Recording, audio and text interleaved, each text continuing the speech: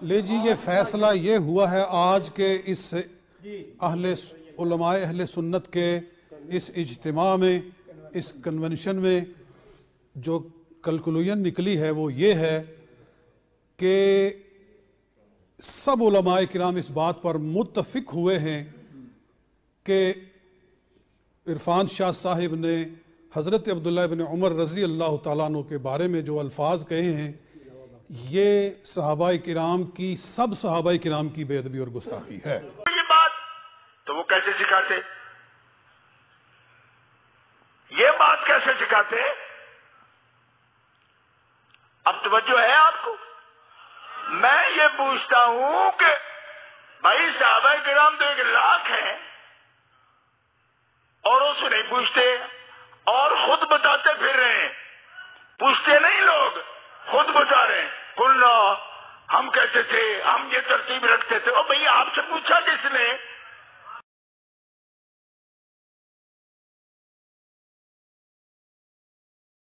भाई, साहबा किराम तो एक लाख है। और उसको नहीं पूछते, और खुद बताते फिर रहे हैं। पूछते नहीं लोग, पूछते नहीं लोग, खुद बता रहे हैं। कुल्ला, हम कहते थे, हम ये तरतीब रखते थे। और भैया, आपसे जो हवेलियाँ में वो गए हैं, उस शख्स के उर्स में जाकर शरीक हुए हैं कि जो खुद शाह साहब के बकौल वो जहन्नमी कहता था, हज़रत अमीर माविया रज़ी अल्लाह तहो को, और हमारे पास गवाह मौजूद है कि वो फतेह मक्का के बाद मुसलमान होने वालों को मुसलमान ही नहीं मानता था। जी, जो आदमी गुमराही की इस हद तक पहुँचा हुआ था, आप वहाँ गए हैं और जाकर कहा है कि मैं इस आस्थाने पर आया हूँ और मैं दुआ करता हूँ कि इसका फैज क्यामत तक जारी रहे। हज़रत शाह साहब, इस दरगाह आलिया के सजादा नशीन, एक मुमताज़ इल्मी शख्सियतें रूहानी शख्सियतें और ज़ाती तौर पर मैं उनकी इल्मी और रूहानी वजाहत का मोतरफ हूँ। इल्मी और रूहानी वजाहत का मोतरफ हूँ।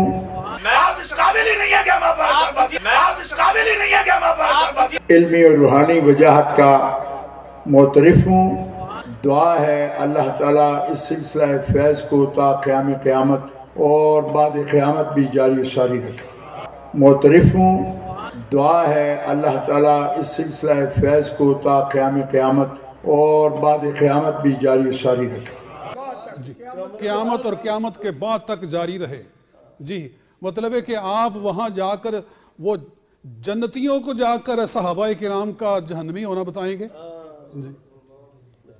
तो ये भी आपने अहले सुन्नत के साथ बहुत बड़ा फॉल खेला है।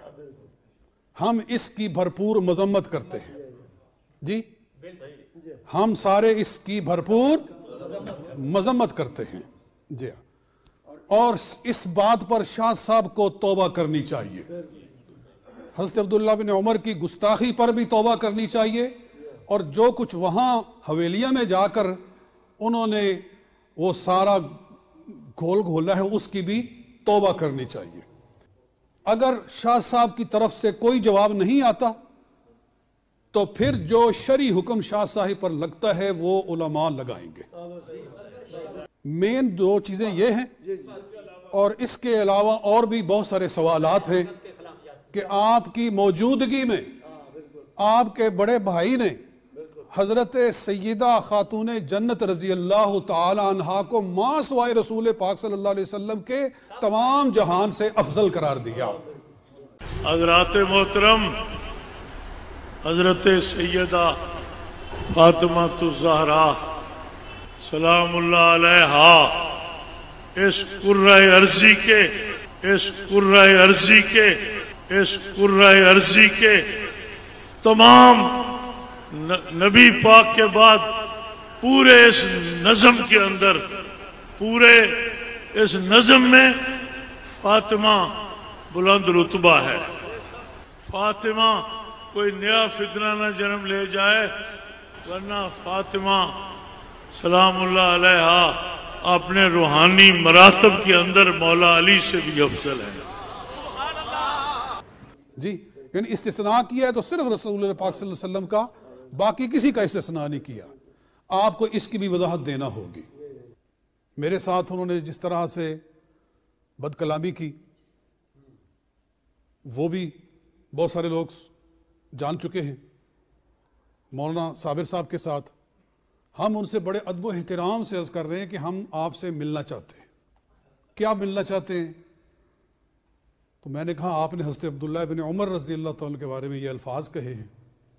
मैंने कहा, शाह साहब, मकसद जो भी हो, जो गुस्ताखी होती है, वो गुस्ताखी होती है। बहरहाल, ये गुस्ताखी है, इसमें कोई शक नहीं है। आप जितने उलमा तशरीफ़ लाए हैं, क्या आप इसको गुस्ताखी समझते हैं कि नहीं समझते? ज़रा हाथ बुलंद कर दें सारे हजरात। शाह साहब के साथ आपको मालूम है कि एक ज़माना हमने मिलकर काम किया है। है ना? जी टीवी पर भी उस तरह भी उन्होंने जहाँ बुलाया हमें हम सफ़र करके पहुँचे। और उनके साथ हम कंधा मिला के कंधे के साथ कंधा लगा कर खड़े हुए। और उस वक्त की उनकी जो खिदमात हैं उनको हम आज भी मानते हैं उसके मोतरफ हैं। जी हाँ। और उसी को वो बुनियाद बनाकर कहते हैं कि मैं कैसे गुस्ताखी कर सकता हूँ? जब उनसे बात हुई है ना, मेरी भी बात हुई है। मौलाना आजमी साहब गए हैं परसों जुमे वाले दिन। तो उन्होंने आगे से ये जवाब दिया है कि भाई, मैं कैसे गुस्ताखी कर सकता हूँ?